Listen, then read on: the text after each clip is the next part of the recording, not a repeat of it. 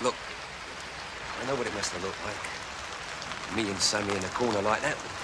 Sammy? That's what she said her name was. Pen, it was a complete accident. People always think the worst. Where you're concerned, that's the only way to think. what a day. What a bloody rotten day. I've heard you call my boss Nobby. I've seen you seduce the bride. And now I'm wet. I'm soaking wet! Look, Pen. Don't touch me!